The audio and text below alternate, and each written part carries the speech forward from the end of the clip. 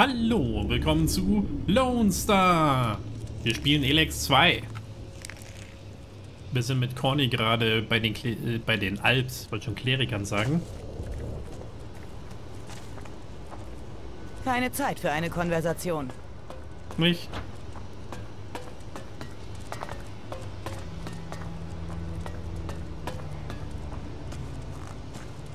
Er hat aber anscheinend keine neue Mission für uns. Deswegen müssen wir ihn vielleicht austauschen. Dass wir wieder jemand anderen holen.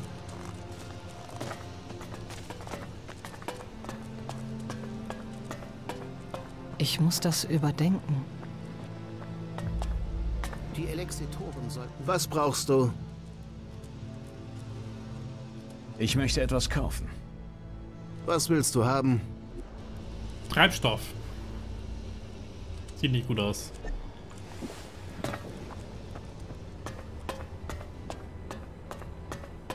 Da gibt's wohl nichts. Hey Jax, warte mal. Hast du mich gerade gerufen? Ja, ich... Ich habe über etwas nachgedacht und muss mal mit dir reden. Aber nicht hier. Worum geht es? Ich... Ich habe ein Problem. Du bist vielleicht der Einzige, der mir da raushelfen könnte. Sind nicht effizient Wie genug. kommst du darauf? Du hast dich schon mal gegen die Direktive aufgelehnt und bist davongekommen. Ich brauche Hilfe von jemandem, der sich damit auskennt. Du willst gegen die Direktive handeln? Psst, nicht so laut. Komm mit, wir reden woanders weiter. Ja, dann folgen wir ihm doch mal.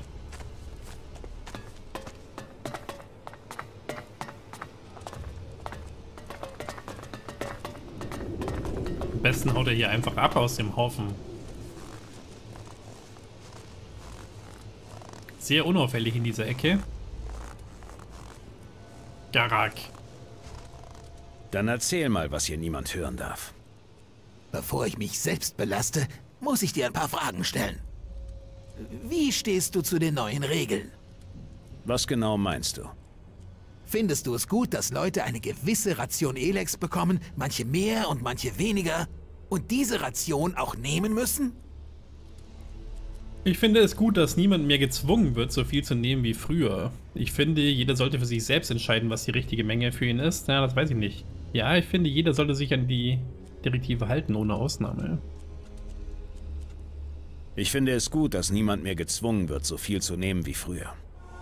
Also, du bist der Meinung, dass es Leute gibt, die mit weniger Elex effektiver sein können, als andere, die mehr bekommen?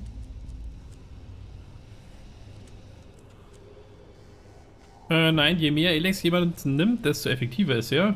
Was fragst du sowas? Ja,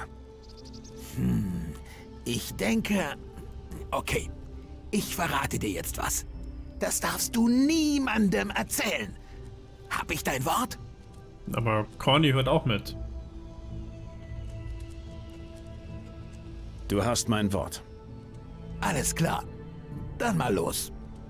Ich nehme kein Elex mehr. Wie jetzt? Darum hast du ein, so ein Geschiss gemacht? Das ist illegal, oder? Das ist eine ernste Sache, dafür könnten sie dich hinrichten. Das ist illegal, oder?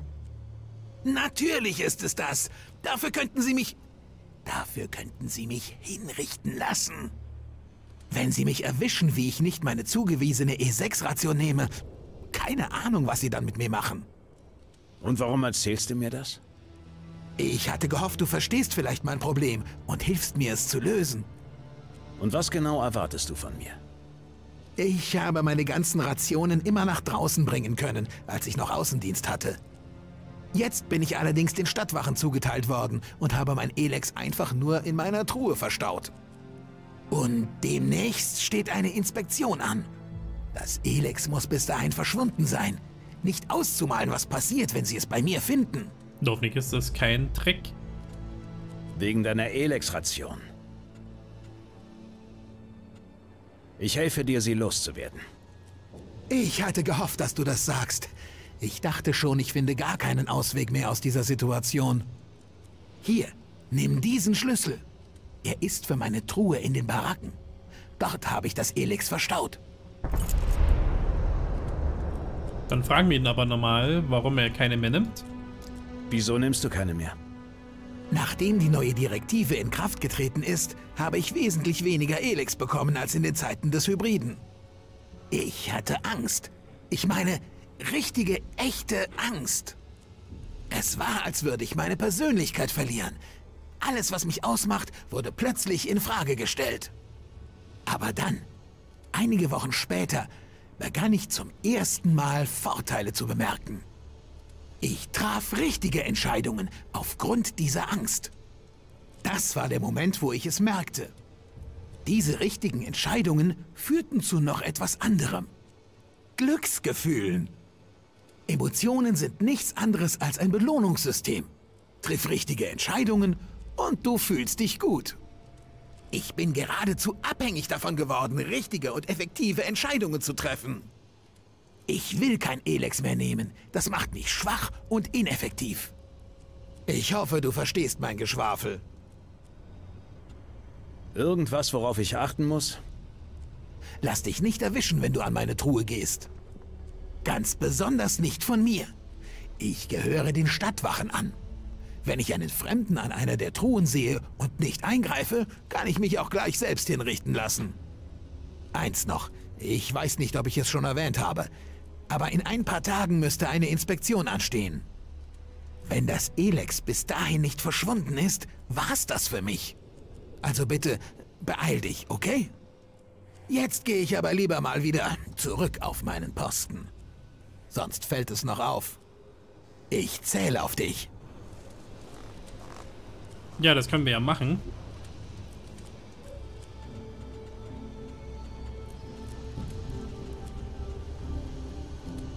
Müssen nur die Kiste finden. Garaks Geheimnis. Eine Albwache namens Garak hat mir anvertraut, dass er seine zugewiesenen Elix-Rationen nicht eingehalten hat. Wenn das rauskommt, könnte ihm das als Insubordination ausgelegt werden. Da demnächst eine Inspektion ansteht und er nicht weiß, wie er dem entgehen soll, hat er mich gebeten, das Elix aus seiner Truhe zu klauen. Sie steht am Ende seines Bettes in der Kaserne der Wachen.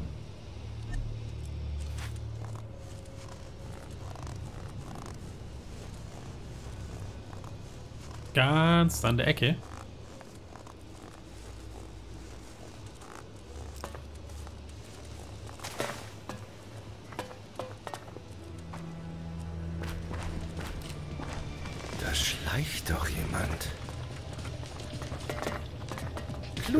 Solltest, du solltest besser gehen. dich. Wo kommen die jetzt her?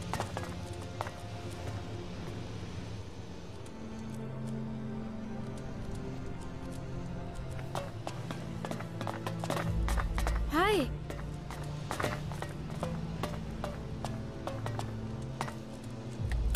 Ja, wie können wir uns jetzt da reinschleichen?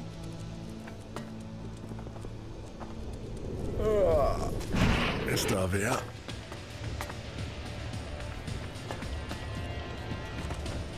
Du solltest besser für dich. Du solltest... Kluge Entscheidung. Ja, wie soll man denn da reinkommen, bitte?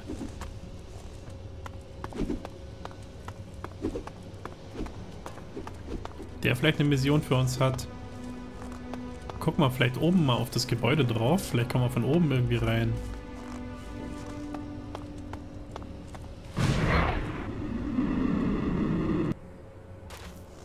Tja, ich weiß nicht, ob ich Ihnen da helfen kann.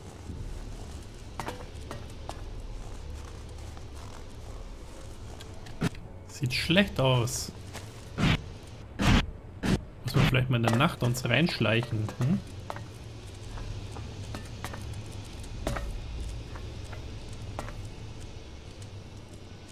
Ah ja, da schläft einer.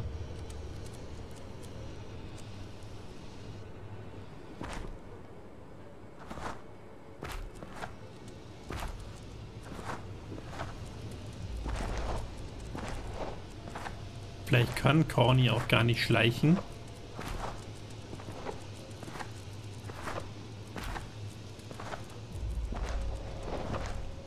Was soll dieses Verhalten? Unterlass das gefälligst.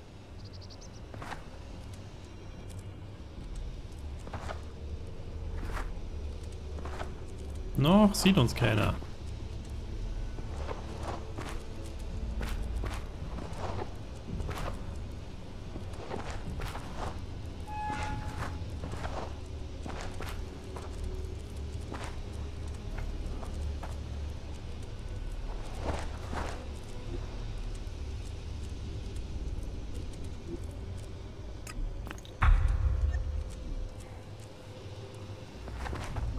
Und leise wieder raus.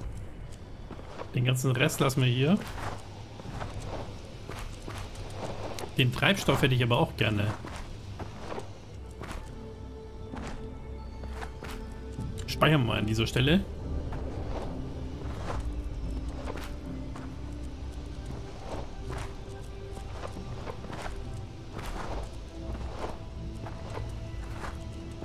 Mehr Punkte in Heimlichkeit will ich eigentlich nicht stecken.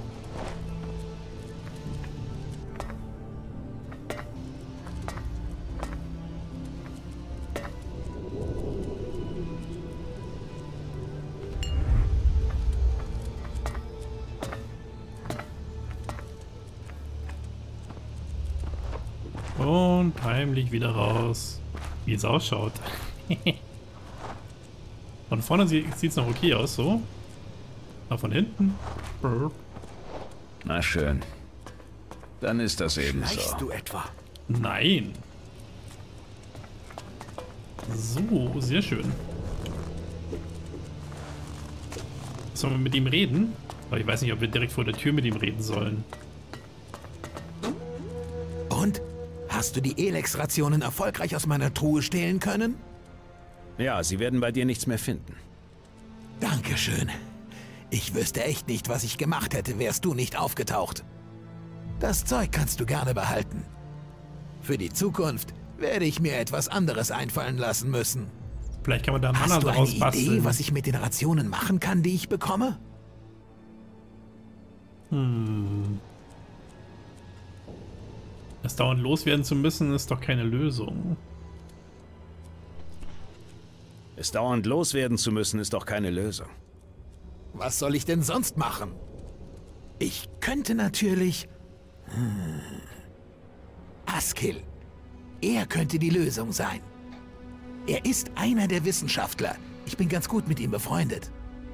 Ich habe eine Idee. Ich muss direkt mal mit ihm reden. Nochmal, danke für deine Hilfe. Ich glaube, ich werde sie in Zukunft nicht mehr brauchen. Wir sehen uns. Ja, ich glaube, wir begleiten ihn mal lieber. Ich hoffe, es ist jetzt nicht sein Todesurteil.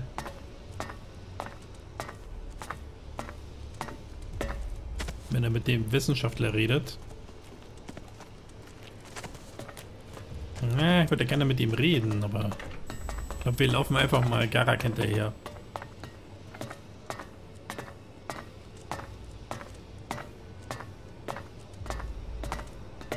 Ja, ich habe schon öfters angemerkt, aber ich hoffe, dass sie mal diese Metall-Sounds ändern im dritten Teil. Die klingen so nach Stock-Sound für ich laufe auf Metallplatten. Die hören sich auch überall gleich an, diese Metallplatten. Sollten sie doch wenigstens leicht unterscheiden. Askill, dich habe ich gesucht. Was willst du, Garak? Ich habe zu tun. Ich habe nachgedacht und ich habe dir ein Experiment vorzuschlagen. Lass mich dich gleich hier unterbrechen. Ich habe alle Hände voll zu tun damit, Alceas Experiment im Auge zu behalten. Für ein zweites habe ich wirklich keine Zeit. Hör mich erst mal zu Ende an. Ich will quasi mit in Alceas Experiment. Du willst was? Du würdest dich freiwillig als E10er melden? Ja, Interessant. Sehr interessant. Ich werde das überdenken und mit Cora absprechen, sobald ich Zeit habe. Na, hoffentlich geht es nicht schief. Einen Freiwilligen hatten wir bis jetzt noch nie. Das könnte die vorhandenen Parameter komplett umschmeißen.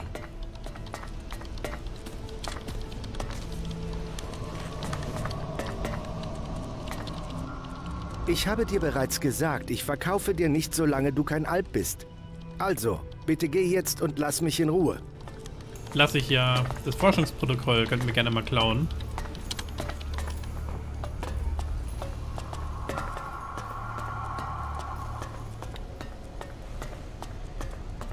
Hallo, Cora. Ich will von dir lernen. Gut, was soll ich dir beibringen?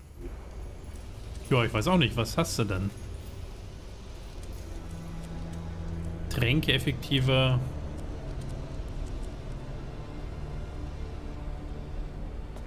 Damit könnte man die Wirkung von Nahrungsmitteln verdoppeln.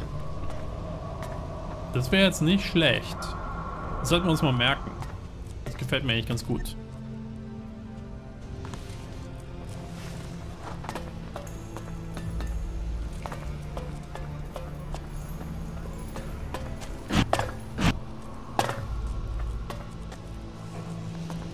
So. Conny, hast du irgendwas? Systemanalyse. Analysiere. Hauptprotokolle optimal kalibriert. Sehr schön. Dann zurück zur Bastion. Da hinten können wir natürlich auch mal zur Forschung gehen. Dem Gebiet waren wir auch noch nicht.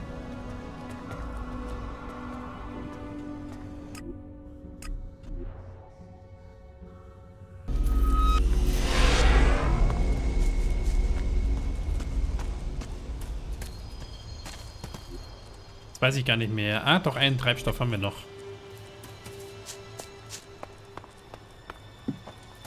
Ja, ich weiß, man sollte nicht durchs Fenster gehen, aber was soll's. Wo war denn hier der Tisch? War der hier?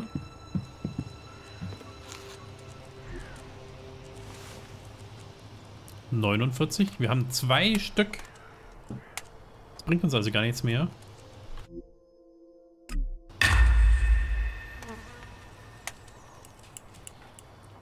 Das war's. Sollen wir den jetzt noch total verbessern?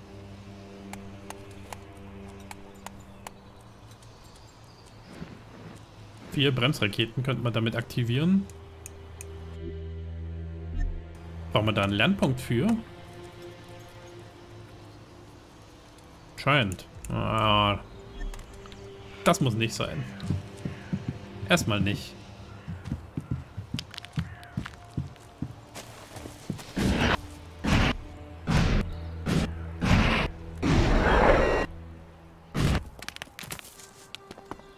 Also da mit der Steuerung muss ich mich nochmal vertraut machen.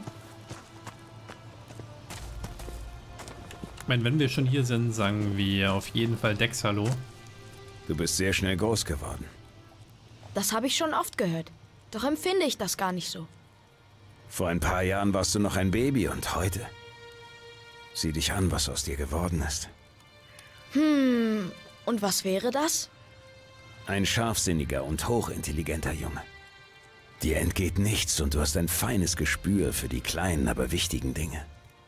Ist das etwas Gutes? Allerdings. Cool, dann finde ich es auch gut. Ich glaube, das Gespräch hatten wir schon.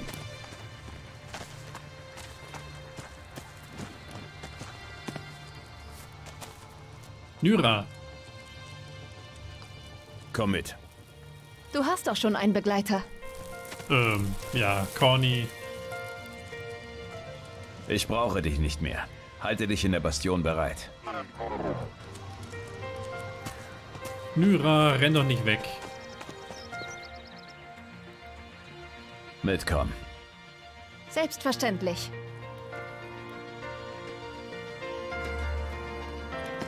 Dann haben wir sie dabei. Und nehmen den Teleporter hier in dieses Gebiet hier. Hier steigt das Risiko, getötet zu werden, ins Unermessliche. Allerdings.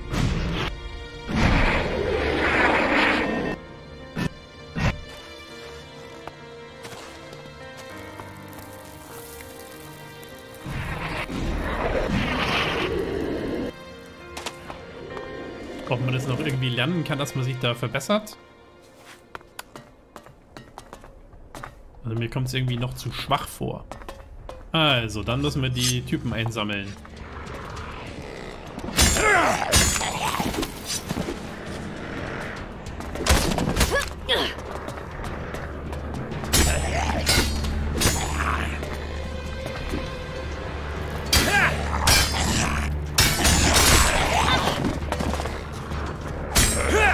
Wie viel sind denn da bitte noch?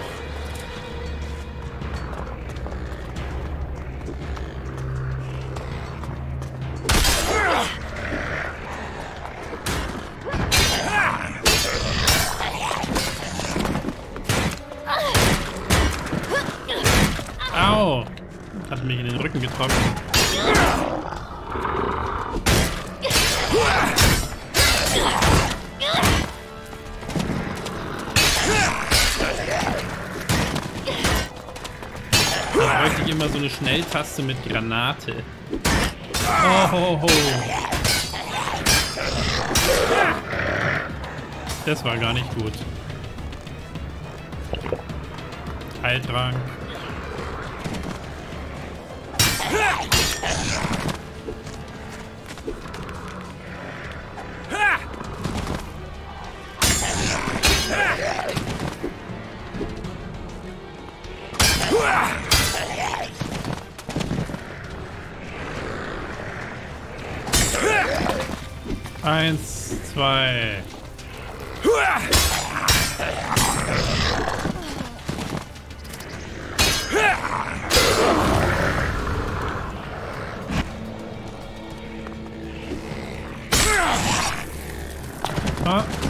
Lyra hilft wieder.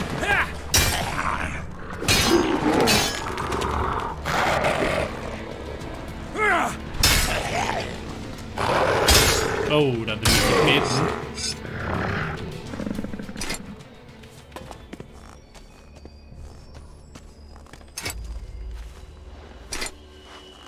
So war das ja nicht gedacht.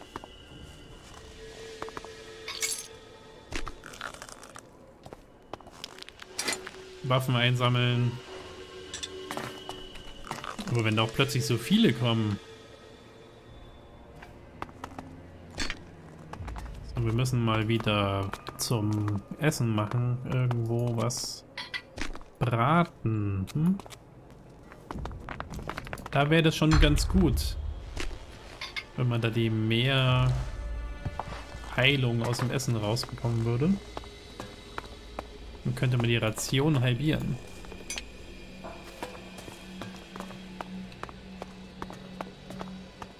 So, zurück. Wir können es abgeben. Nicht, dass sie uns noch schlecht werden in unserem Inventar.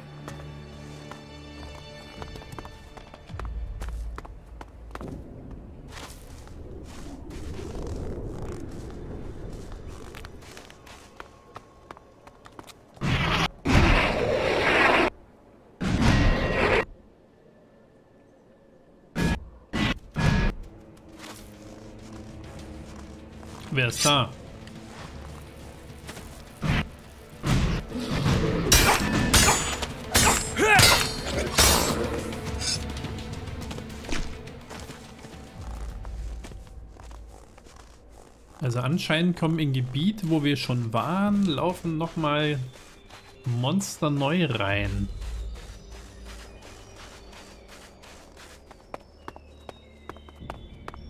Oder die haben irgendwie so ein Gebiet, in dem sie sich aufhalten und das dann da hinlaufen, wo ich dann vielleicht schon mal war, aber sie sind dann gerade zufällig auch in der Gegend.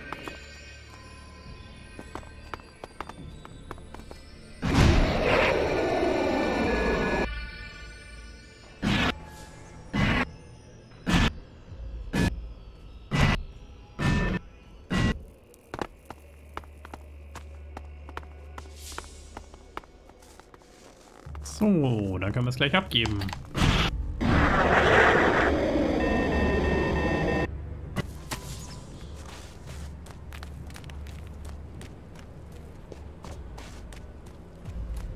Zurück zur Schule.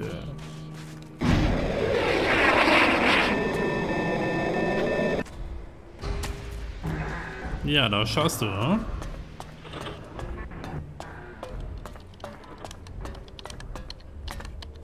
Ich hoffe, die lassen den Kleinen in Ruhe. Hallo, Makar. Ich habe Unterricht, Sir. Ah, Jetzt hätte ich fast auf Stehlen geklickt, während sie da ist. Wegen der Mutanten. Ich habe die Gehirne der Häscher dabei. Ah, ausgezeichnet. Ich habe fast nicht mehr damit gerechnet, dass du lebendig zurückkommst. Wieso? Wir waren doch nur ganz War kurz es weg. denn schwierig, die Gehirne zu besorgen? Es war nicht leicht, aber für jemanden wie mich kein Problem. Viel mehr hätte ich nicht besiegen können. Es war ein harter Kampf.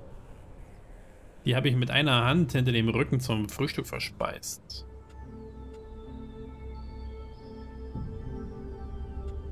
War nicht leicht, aber für jemanden wie mich kein Problem. Klingt so, als hättest du leichte Probleme gehabt. Ich denke, diese Bezahlung sollte dafür angemessen sein. Du kennst das Prozedere. Ich werde dafür sorgen, dass die Gehirne fachgerecht konserviert werden, damit ich sie mit meinen Schülern obduzieren kann. Solange habe ich keine Arbeit für dich. Ich komme auf dich zu, falls ich mal wieder etwas von dir brauche. Kein Problem. Ach, fast hätte ich es vergessen. Ähm, danke? Bitte.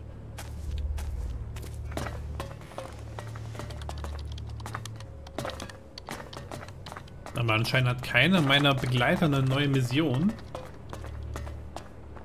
Fox vielleicht noch?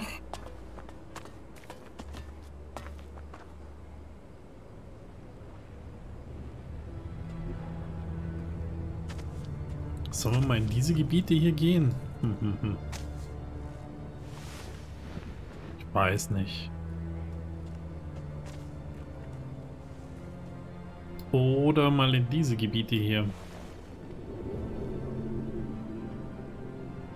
Rein zur Erkundung. Genauso hier waren wir auch noch nicht. Wobei das ist jetzt schon wieder von den Invasoren.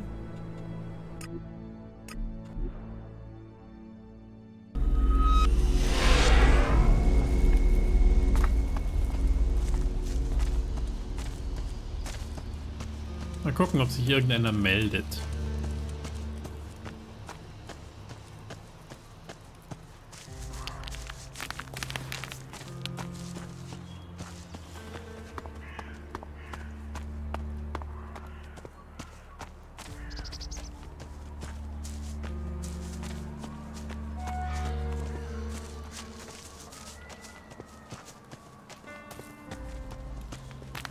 Ja, dann soll sie doch da bleiben, wenn sie nichts hat.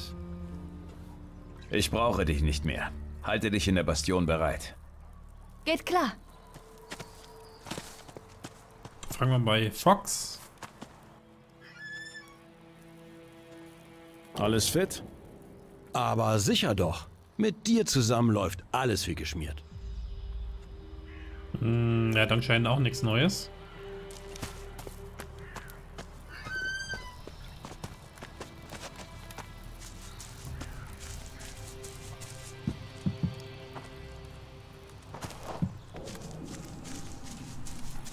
Er irgendwas, was er braucht, Falk? Hey, du meldest dich aber, wenn du ein weiteres Experiment starten willst. Ehrlich gesagt hätte ich das schon längst getan. Aber? Ich bin mir nicht sicher, ob es zielführend ist. Das finden wir sicher heraus, sobald wir es starten. Also, wie sieht dein nächster Plan aus, um menschlicher zu werden? Ich möchte der Bastion helfen. Um die Bastion herum gibt es eine Menge Gebiete, die wilde Tiere und andere störende Kreaturen beherbergen. Lass uns auf die Jagd gehen und sehen, was wir tun können, um die Bastion vor ihnen zu schützen. Was genau soll das bewirken? Ich helfe damit meinen Freunden. Das ist doch eine dieser Sachen, die euch Menschen so menschlich machen, oder? Hm, im Grunde schon. Dann lass uns losgehen. Du sagst mir, wenn du bereit bist. Mitkommen. Natürlich. Falk ist also dabei. Er hat auch eine neue Mission für uns. Die schauen wir uns heute aber nicht mehr an. Machen wir an dieser Stelle lieber erstmal ein kleines Päuschen. Und ich hoffe, es hat euch gefallen. Und wir sehen uns das nächste Mal.